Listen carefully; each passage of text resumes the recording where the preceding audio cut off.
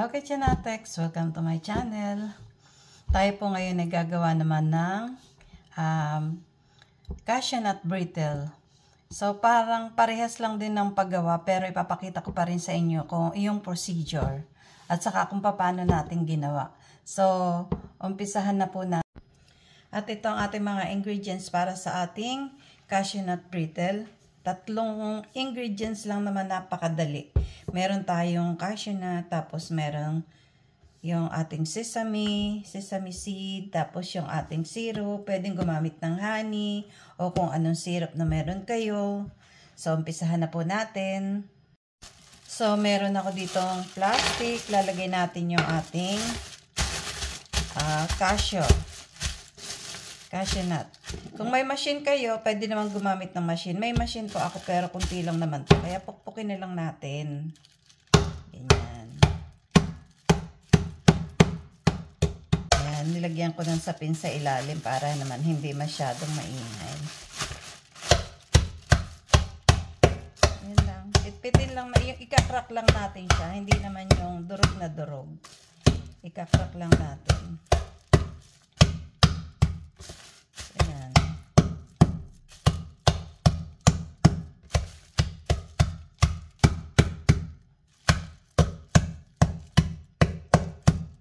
Hanggang makarak lang lahat natin.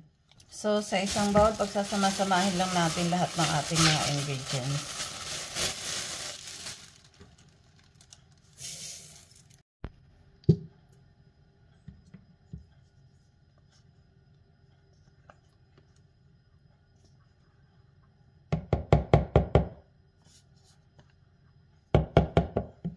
So, ngayon, haluin lang natin.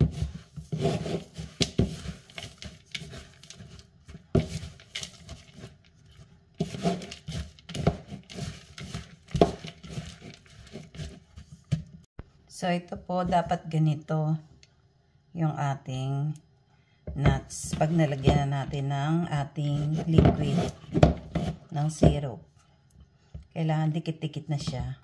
So, ngayon lalagay na natin sa ating oven. Ah, ilalagay muna natin sa ating baking pan. So, pag ginawa po natin to kailangan na preheat na natin yung ating oven kasi napakadali lang namang gawin.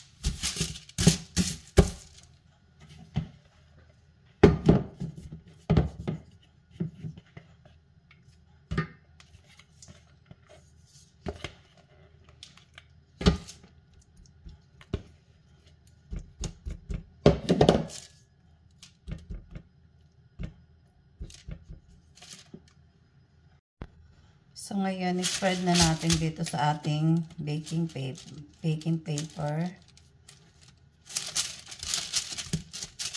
Kailangan manipis.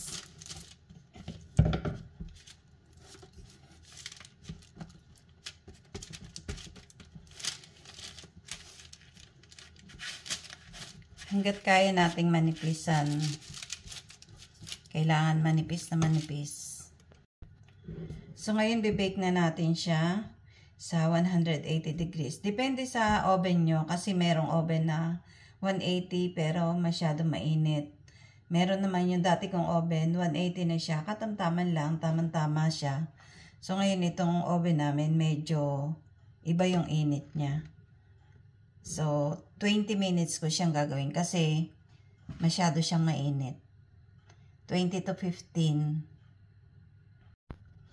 kaya pag masyado mainit, medyo i-less nyo yung ano, yung temperature. Halimbawa, 180 maging 175 na lang o 170. So, ganun lang po. So, ito, luto na yung ating pina, uh, cashew nut brittle na may sesame. So, ano po, uh, bali, hindi pa siya inabot ng 14, uh, bali, ano lang siya, 30 minutes lang. 30 minutes lang, iyat ko na siya. Kasi, ano, uh, ah, 180. Mainit talaga kasi yung aking oven. Nag-less pa nga ako, 175 pa yung ginawa ko. So, ito na po siya. So, mamaya paglamig, yung hindi siya malamig na malamig, yung medyo may kunat pa, ihiwa-hiwain na natin siya. So, mamaya papakita ko sa inyo. Ito po, ah, medyo tumigas na siya kasi nakalimutan ko. Nilagay ko sa labas kasi malamig dito para mabilis lumamig. Napasobra naman, matigas na siya. So, ang gagawin natin, ikakat na lang natin ng gunting. So, try natin na katin ng gunting pero alam kong ayan no, sobrang lutong na. Kaya, ay nako. Sa gunti, hindi na pwede siguro sa gunting, baka kutsilyo na lang. Ayan.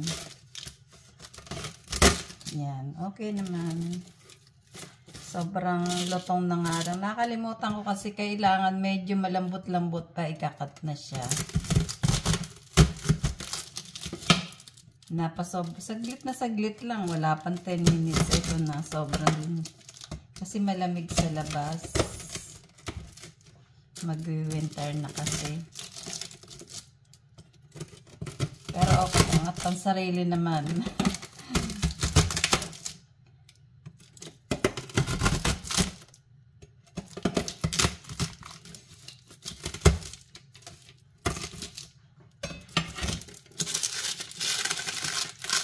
Madali naman tanggalin. Yan.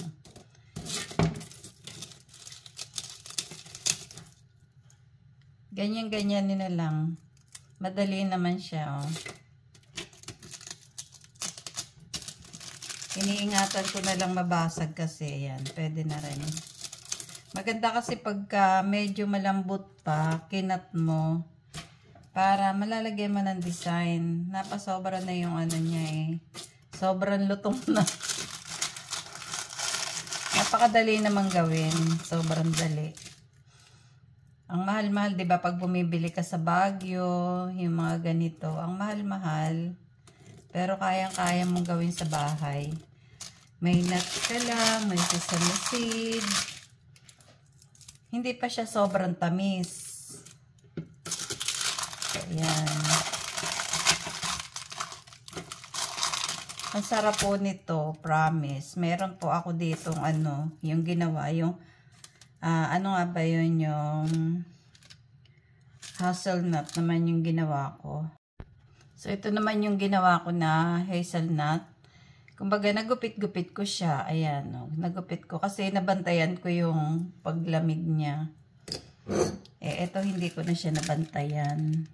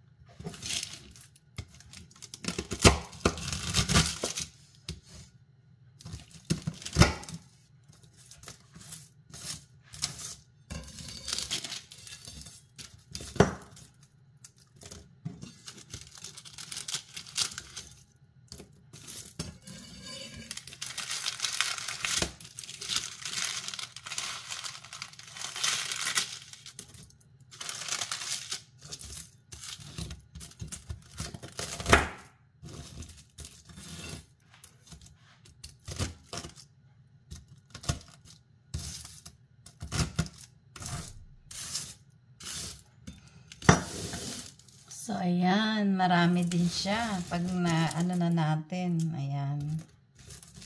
Ang ganda ng pagkagawa natin. Maganda talaga. Kaya pagka nag-obet kayo, bantayan nyo na lang para makita nyo kung nagba-brown na siya. Ayun, okay na. Ang ganitong kulay, okay na. Kahit dark na ganito, hindi siya mapait. Masarap po siya. Mm. Daan sarap. Mas masarap pa nga dun sa peanut brittle na nabibili natin sa Baguio. Kasi yung sobrang tamis. Ito hindi po. Kasi yung ating syrup, hindi naman siya yung sobrang matamis eh. Ang sarap. Ang sarap niya. Mm. Mm, sarap.